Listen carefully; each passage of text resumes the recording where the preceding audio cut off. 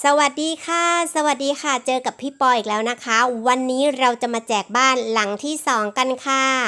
พี่ปอสร้างเสร็จสักพักหนึ่งแล้วนะคะ หลังนี้ มันจะเป็นบ้านเปล่าพร้อมอยู่นะคะ เออ บ้านเปล่าๆสำหรับใครสายตกแต่ง ต้องเอาไปใช้นะจ๊ะหลังนี้ อืม แบบพี่ปอหนูสร้างบ้านไม่เป็น แต่หนูอยากใส่เฟอร์นิเจอร์แบบเขาเรียกว่าอะไรนะ ตกแต่งเองอะ่ะ เออ อะ ก็ลองเอาไปใช้ดูนะ หลังนี้มีอยู่หลังหนึ่งที่คล้าย ๆ แบบนี้นะ ที่พี่ปอบอกว่าชอบมากเลยของน้องๆ พี่ปอแบบชอบมาก แต่พี่ปอไปแกะโครงสร้างเขาไม่ได้เลยอะ่ะ คือไม่สามารถที่จะ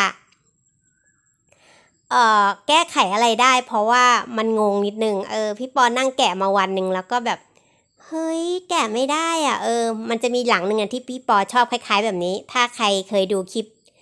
ที่ไปเยี่ยมบ้านน้องๆจะมีอยู่หลังหนึ่งคล้าย ๆ แบบเนี้ยและพี่ปอจะเอาหลังนั้นอะมาทำเป็นบ้านโจรที่พี่ปอบอกว่า นึกละครสั้นออกแล้ว เออก็นั่นแหละ จะทำละครสั้นเกี่ยวกับการลักพาตัวของเด็กผู้หญิงคนหนึ่งอะไรเงี้ยเอามาซ่อนไว้บ้านหลังนี้ เออ แต่พอทำไปทำมามันก็เลยได้บ้านหลังนี้ขึ้นมา อืม แล้ว แล้วพี่ปอก็เอาบ้านหลังเนี้ยมาสร้างเป็นร้านร้านหนึ่งเออ ร้านอะไร เดี๋ยวพรุ่งนี้เรามาดูกันนะว่า ร้านที่พี่ปอสร้างมันเป็นร้านอะไร อ่า เนี่ย อันนี้ก็คือเป็นบ้านเปล่าๆเลยนะ ก็ลองเอาไปต่อเติมกันดูนะว่าทุกคนจะเอาไว้ทำเป็นบ้าน หรือว่าจะเอาเป็นร้านค้าก็ได้นะ แล้วแต่เลย นี่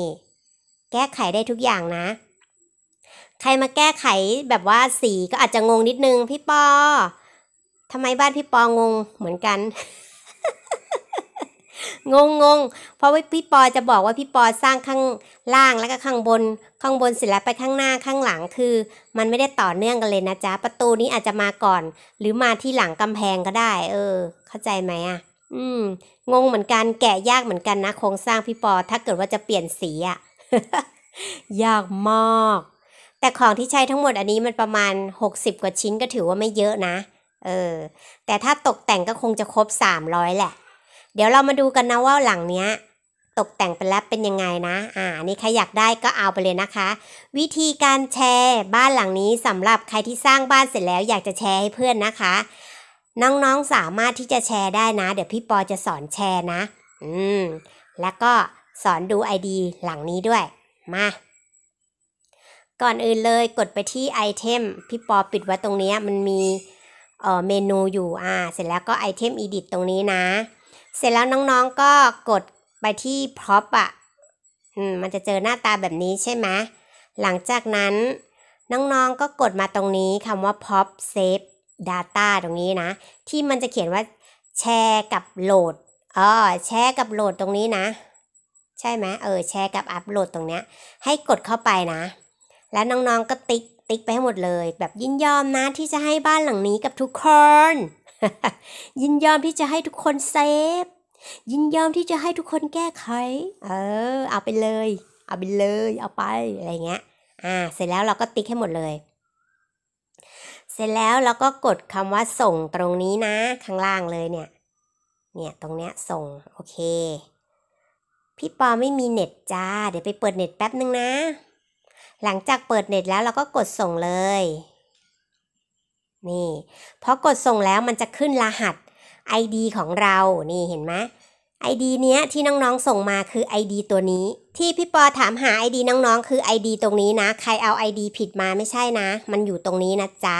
สำหรับ ID ของพี่ปอตรงนี้น้องๆก็เอาไปหาได้นะ เห็นไหมหกแปดหนึ่งอะไรเนี่ย แล้วน้องๆก็เอามาใส่ไว้ตรงนี้นี่ที่พี่ปอวงไว้ให้แล้ว น้องๆก็ใส่ลงไปเออก็จะเจอบ้านหลังนี้ของพี่ปอนะคะ นี่โอเค เราจะดูว่าเราส่งบ้านให้น้องๆดูกี่หลังแล้ว แล้วก็กดที่ My List มันจะขึ้นนะ นี่เห็นไหมพี่ปอมีบ้านทั้งหมดสี่หลังแล้วนะ ตอนนี้ที่แบบว่าแจกไปนะ อืมสี่หลังแล้วนะ นี่ แต่หลังเนี้ยเป็นบ้านเปล่าหลังที่สองที่แจกไปนะจ๊ะ ไว้เรามาดูตอนเสร็จนะคะ ว่าบ้านหลังนี้พี่ปอสร้างเสร็จแล้วจะเป็นยังไงนะจ๊ะ ใครขยันก็ลองเอาไปสร้างกันดูนะจ๊ะ